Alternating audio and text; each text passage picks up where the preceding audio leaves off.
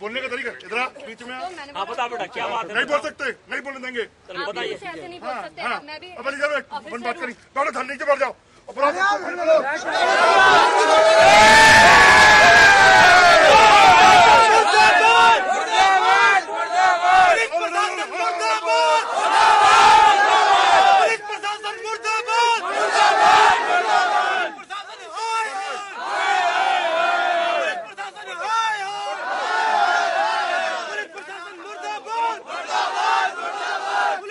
इधर बैठ, अपन बात ऑफिसर करी हूँ।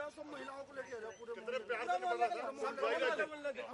प्यार से। बुलाओ सबको बुलाओ पूरी महिलाएँ औरतें सबको बुलाओ। जाँच हो जाएगी उसमें सारी महिलाएँ बच्चों सबको बुलाओ और पूरी रात बैठनी है यहीं पूरी रात। बात तो सुनो। मैडम भी गोली चलवाओ। अरे गोली चलवाओ हम बोल रहे चलो करवाओ गोली आएँगे। चलवाओ। को चलो चलवाओ गोली। को चलो गोली तुम्हारे पास है। चलवाओ गोली है। नहीं आप शांत हो जाइए। आप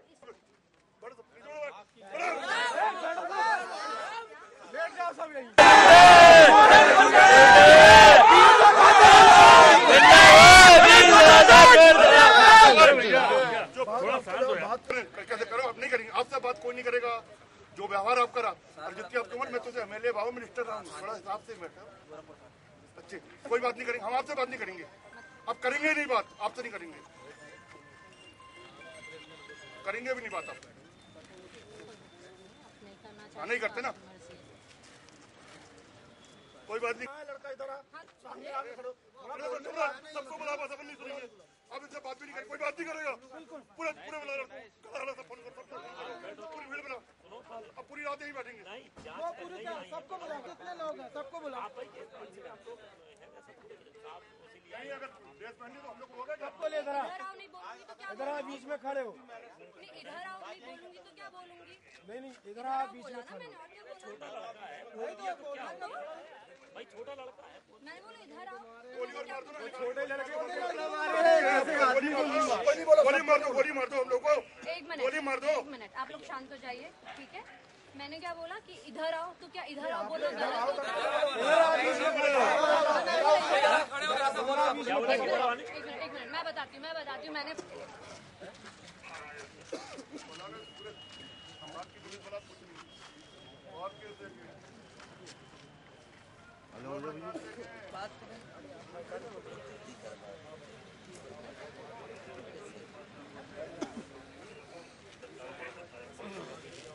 प्यार से हाँ मतलब उसको मैडम बस कहने का जाँच ही करने तो आई थी आप आप लोगों की कहने हाँ? बैठो आप बैठो आप परेशान मत हो वो तो क्या है ही आई थी मैडम मैडम का वो नहीं था कि इंटेंस और उसको बोल दिया उसके ले इधर आ इधर आओ नहीं बोलूँगी तो क्या इधर आ बीच में खड़े हो। इधर आओ नहीं बोलूँगी तो क्या बोलूँगी? नहीं नहीं इधर आ बीच बोला में खड़े और क्या बोला। हाँ। भाई छोटा लड़का है। मैंने बोला इधर आओ। गोली मार दो ना। छोटे लड़के को गोली मार दो गोली मार दो हम लोग को। एक मिनट गोली मार दो। एक मिनट आप लोग शांत हो जाइए ठीक है? मैंने क्या बोला कि इधर आओ तो क्या इधर आओ बोलो? गलत होता। एक मिनट एक मिनट मैं बताती हूँ मैं बताती हूँ मैंने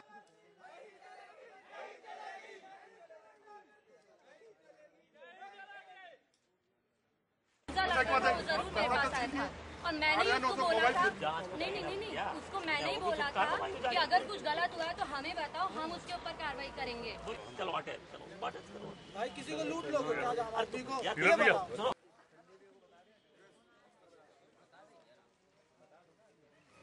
पुलिस प्रशासन मुर्दाबाद मुर्दाबाद मुर्दाबाद पुलिस की गुंडागर्दी नहीं चलेगी नहीं चलेगी नहीं चलेगी लूट खसोट नहीं चलेगी नहीं चलेगी नहीं चलेगी मुर्दाबाद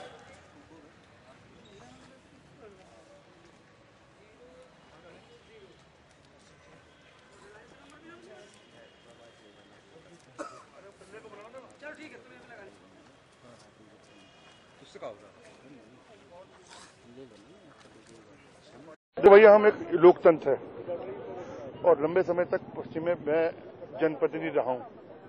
अगर किसी कार्यकर्ता से दुर्व्यवहार किया जाएगा तो हमारा फ़र्ज़ होता है उसकी मदद करना। एक इतना साफ़ सुथरा, एक गरीब पेंटर, उसके साथ गोरखपुर के कुछ कर्मचारियों ने मारपीट करी, इससे पैसा छीन लिया और मोबाइल छीन के झूठे पकड़ में इसको फंसा के एक सौ इक्यावन जेल भिजवा दिया। जमानत से छूटा। फिर मेरी एसपी से बात हुई। एसपी के बाद अभी हम लोगों ने जब नहीं सुनवाई तो हम लोग थाने में धरने में बैठ गए। मैं अधिकारियों से निवेदन किया, उस पर कार्रवाई। उसको अभी उन्होंने प्रॉमिस किया कि हमने लाइन कर दिया है। अटैच कर दिया लाइन अटैच कर दिया। हमने धरना समाप्त किया है और हमने कहा है इसमें उचित कार्रवाई हो जब दूसरा आदमी अगर किसी का पैसा छीने तो बानवे लगाते हैं और पुलिस वाला पैसा छीने तो उस पर कोई कार्रवाई नहीं होगी। ये गलत तरीका है इसको देखकर हम लोगों ने अभी धरना दिया और एसपी साहब से मदद मांगी और प्रशासन से मदद मांग के उस पर कार्रवाई होना चाहिए। दीपक पे आरोप है कि दीपक पे सट्टा खिलाने हंड्रेड परसेंट उसके माँ माँ मर गई है भाई कोई है नहीं वो अकेला पेंटर है सब झूठ बोल रहे हैं। ये सब प्लानिंग के तहत बनाया जाएगा। किसका साजिश लगती है प्लानिंग में आपको? इसमें जो तीन लोग है ना उनके बाद केस निकाले अगर आम जनता के लाके खड़ा कर दें कि ये तीन लोगों के बारे में बताएँ तो एक दो हज़ार आदमी उससे प्रताड़ित है। उन तीनों से तीनों कर्मचारी से हज़ार दो हज़ार लोग प्र- प्रताड़ित है। शरीफ आदमी देखते हैं। जैसे एक सादिक है असाटी लखन। ये तीन तो इधर के गुंडा है। ये जबलपुर में पुलिस के गुंडा गुंडा। ये गुंडा है। ये सिर्फ़ लूट अगर इनके घर में तलाशी ली जाए ना तो लाखों रुपए का माल निकले करोड़ों का माल निकलेगा। ये बहुत बड़े डकैत लुटेरे हैं दोनों तीनों।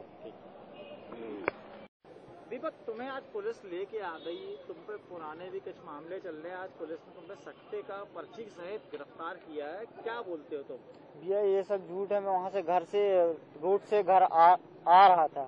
तो असाटी रहा और भाईजान रहा शाहिद भाईजान। सादिक सादिक भाईजान इल्लू ने मेरे को लखन। इल्लू ने मेरे को पकड़े मेरे से बोले इधर आ। मेरे से बोले इधर आ। तो मैं उनके पास गया मैंने बोला "हाँ- भैया तो बोलते कहाँ जा रहा मैंने भैया, घर जा रहा हूँ। तो बोलते, चल, बैठ गाड़ी में। तो मेरे को बैठा ले, थाने लेके आए। मेरे जेब चेक करे, उनको कुछ नहीं मिला, सिर्फ़ पैसा और मोबाइल मिला। तो बोलता है, इतना सारा पैसा तूने कहाँ से लाया? तो मैंने बोला, भैया, मैं अपने घर का टैंक लेने जा रहा था। टैंक लेने जा रहा था तो आप लोगों ने मेरे को बैठा लो, और इधर लिया तो बोलता है, नहीं, ये चोरी का पैसा है, और तू जे जे काम करता मैंने बोला, भैया, मैं ऐसा काम कुछ नहीं करता। तो मेरे को मारे हैं उन लोगों ने। मेरे से बोलते तू पर्ची लिख अंदर मेरे से पर्ची लिखवाए मेरे को बाइफर से मारे मेरे बाला आल उखाड़ लिए मेरे को बहुत मारे और पूरी रात बंद करके रखे रहे। कितने कितने हज़ार की पर्ची तुमसे लिखवाए हैं पुलिस ने मेरे से सिर्फ़ तीन ही पर्ची लिखवाए और जी- ये नहीं मालूम मैंने कितना कितना लिखा हूँ। सिर्फ़ उन्हें तीन ही पर्ची लिखवाए हैं काय की पर्ची लिखवाई तुमसे? तख्ते की पर्ची लिखवाई है अंदर बैठा के मेरे को मैं मैं लिखा ही नहीं रहा था तो मेरे को बहुत मारे मेरे बाल उखाड़ लिए मेरे को हैं बार ये मेरा एक रिकॉर्ड नहीं है। एक एक भी नहीं है। कोई से ही पूछ लो अभी आप। पूरे मोहल्ले में जाके पूछ लो। दीपक कहार। ये कहाँ नगर में। दिनांक 9 एक अ, 2015 को थाना गोरखपुर में एक सट्टे का प्रकरण दर्ज हुआ था जिसमें एक व्यक्ति जिसका नाम दीपक है वो सट्टा पट्टी लिखते हुए पकड़ा गया था और उसके साथ बाईस सौ रुपये और मोबाइल फ़ोन भी जब्त हुए थे। उसका एक साथी महेंद्र वहाँ से फरार हो गया था वो फरारी में उसके खिलाफ भी प्रकरण दर्ज किया गया था। ये दोनों का पहले से ही पूर्व में ही थाने में रिकॉर्ड है। जो एक और सत्ता ये लोग पहले भी खिलाते हुए पकड़े गए हैं। आज पूर्व विधायक श्री हरेंद्रजीत सिंह थाना गोरखपुर आए अपने कुछ साथियों को लेकर और उनका कहना था कि पुलिस के द्वारा एक गलत कार्रवाई की गई है झूठा मुकदमा दर्ज किया गया है। तो इसमें जाँच की जाएगी जैसा निष्पक्ष जाँच की जाएगी और जैसी सही कार्रवाई होगी वो आगे किया जाएगा। विधायक ने घोषणा कर दी है कि उन सिपाहियों को लाइन टच कर दिया गया। क्या आप इस बात से तो सेटिस्फाइड है कि उन सिपाहियों ने गलत काम किया?